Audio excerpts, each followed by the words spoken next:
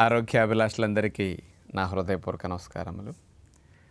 చాలామందికి ఈ రోజుల్లో ఒళ్ళు నొప్పులు మోకాళ్ళ నొప్పులు రొమటాయిడ్ ఆర్థరైటిస్ పెయిన్స్ కానీ అటు కొన్ని రకాల ఆటోఇమ్యూన్ డిజార్డర్స్ వల్ల మజిల్ పెయిన్స్ బాడీ పెయిన్స్ ఇట్లాంటివి ఎక్కువ ఉంటాయి. కొంతమందికి బాడీలో ఏదన్నా ఫీవర్ వచ్చినప్పుడు కూడా పెయిన్స్ ఎక్కువ ఉంటాయి. కొంతమందికి పీరియడ్స్ పెయిన్స్ కూడా ఉంటూ ఉంటాయి.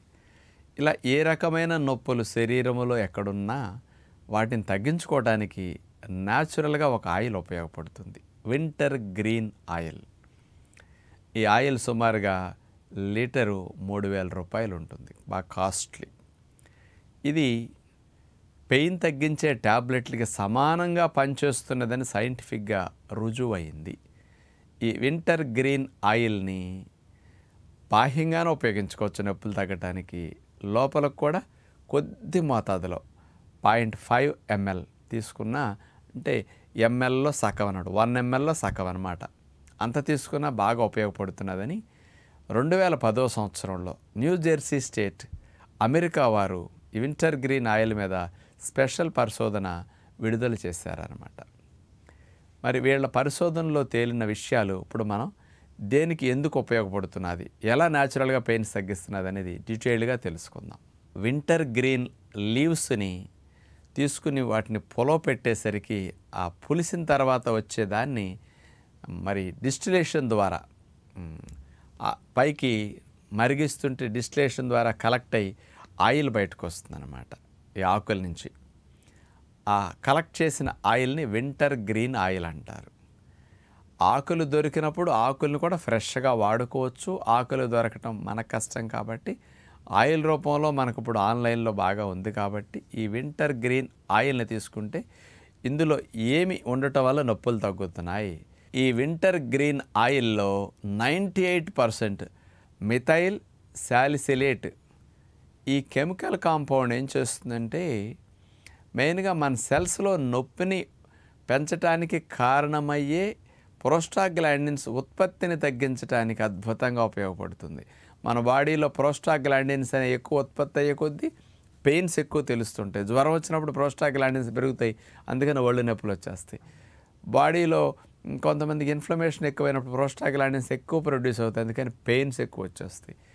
ఈ నొప్పులు తగ్గించడానికి వింటర్ గ్రీన్ ఆయిల్లో మిథైల్ శాలిసిలేట్ అనేది ఎలా ఉపయోగపడుతున్నదని ఆలోచిస్తే సైక్లాక్సిజనేజ్ అనే ఎంజైమ్ని మన సెల్స్లో ఉత్పత్తి అవ్వకుండా కంట్రోల్ ఈ మిథైల్ శాసిరేట్ చేస్తున్నది అనమాట దీనివల్ల ఏమవుతుందంటే సెల్స్ నుంచి ప్రోస్టాగ్లాండిన్స్ ప్రొడక్షన్ ఎంజైమ్ లేకపోతే ఉత్పత్తి తగ్గిపోతుంది కాబట్టి పెయిన్స్ తగ్గడానికి ఇది రీజన్ అని అమెరికా వారు రుజువు చేశారనమాట మరి ఈ వింటర్ గ్రీన్ ఆయిల్ని ఎలా ఉపయోగించుకోవచ్చు? ఇది ఎలా పనిచేస్తుందని దాని యొక్క ప్రభావాన్ని మెడిసిన్తో కంపేర్ చేసి చూడటానికి యాస్పిరిన్ ట్యాబ్లెట్తో కంపేర్ చేశారనమాట నొప్పులు తీవ్రత ఎక్కువ ఉన్నప్పుడు కొంతమంది డాక్టర్స్ యాస్పిరిన్ ట్యాబ్లెట్ కూడా సివియారిటీని తగ్గించడానికి ఇస్తూ ఉంటారు. యాస్పిరిన్ ట్యాబ్లెట్లు ఎక్కువగా వాడేది ఆరు వందల యాభై ఎంజీ డోస్ ఎక్కువగా వాడుతుంటారు. ఈ ఆస్పిరిన్ ట్యాబ్లెట్ ఒకదానికి పాయింట్ ఫైవ్ ఎంఎల్ ఈ వింటర్ గ్రీన్ ఆయిల్ ఒక six hundred fifty MG aspirin ట్యాబ్లెట్లకి సమానంగా పనిచేస్తున్నదని వీళ్ళు రుజువు చేశారనమాట ఈ వింటర్ గ్రీన్ ఆయిల్ని ఎలా ఉపయోగించుకోవచ్చు? నొప్పులు తగ్గించడానికి. ఇప్పుడు జాయింట్ పెయిన్స్ ఉన్న కండరాల నొప్పులున్న ఇతర బాహ్యంగా పై భాగంలో ఒళ్ళంతా నొప్పులున్న ఇలాంటప్పుడు ఒక point five ML wintergreen oil తీసుకుని దీనికి ఒక పది ఎంఎల్ కొబ్బరి నూనె కలిపేసి దాన్ని మనం నొప్పులున్న చోట రాసుకుని అర్థం చేసుకుంటే ఇది చర్మం లోపల పొరకు కూడా ఈ మిథైల్ శాలిసిలేట్ అనే కెమికల్ వెళ్ళిపోతున్నదట. ఈ వింటర్ గ్రీన్ ఆయిల్ లోపలకంటూ బాగా వెళుతున్నది. నైంటీ ఎయిట్ పర్సెంట్ అదే కాబట్టి డీప్ లేయర్స్ వాళ్ళకి వెళ్ళి ఈ సెల్స్ స్కిన్ సెల్స్లోకి వెళ్ళి అక్కడి నుంచి మజిల్స్కి వెళ్ళి కూడా పెయిన్స్ తగ్గించడానికి బాగా ఉపయోగపడుతున్నది అనేది స్పష్టంగా ఉంది. అందుకని ఇట్లా అప్లై చేసుకుంటే మంచిది. కీళ్ళ నొప్పులు ఆర్థరైటిస్ రొమటాయిడ్ ఆర్థరైటిస్ ఇలా ఒళ్ళు నొప్పులు ఫీవర్స్ వచ్చినప్పుడు ఒళ్ళు నొప్పులు ఉన్నప్పుడు కూడా దీన్ని బాహ్యంగా అప్లై చేసుకోవచ్చు. అవసరమైతే వేడి నీళ్ళ స్నానం చేయటం కానీ వేడి నీళ్ళ కాపడం కానీ తర్వాత పెట్టుకుంటే ఆ భాగాల్లో మంచి ఉపశమనం కల్పిస్తుంది. సైడ్ ఎఫెక్ట్ లేకుండా న్యాచురల్ ఆయిల్ కాబట్టి. ఈ ఆకులను కూడా నలిపేసి పసర కనుక అట్లా రాసుకున్నా కూడా కొంత ప్రయోజనం బాగా కనపడుతున్నదని కూడా సైంటిఫిక్గా ఉంది. ఈ ఆయిల్ని బాహ్యంగా అప్లై చేసుకుంటే దోమలు కుట్టకుండా కూడా మస్కిటో రిపెల్లెంట్ లాగా కూడా ఇది బాగా పనిచేస్తుంది అనేది ఉందన్నమాట. ఆ రకంగా పనికొస్తుంది. ఇంకా పీరియడ్స్ టైంలో పెయిన్ వస్తున్నది. లోపల భాగాల్లో కొన్ని పెయిన్స్ ఎక్కువ ఉన్నప్పుడు మనకి అలాంటప్పుడు ఈ ఆయిల్ని లోపల కూడా ఉపయోగించుకోవచ్చు. జ్వరం వచ్చినప్పుడు ఈ ఆయిల్ని కూడా పాయింట్ ఫైవ్ ఎంఎల్ ఇంతకంటే ఎక్కువ ఆయిల్ యూజ్ చేయకూడదు అంటున్నారు.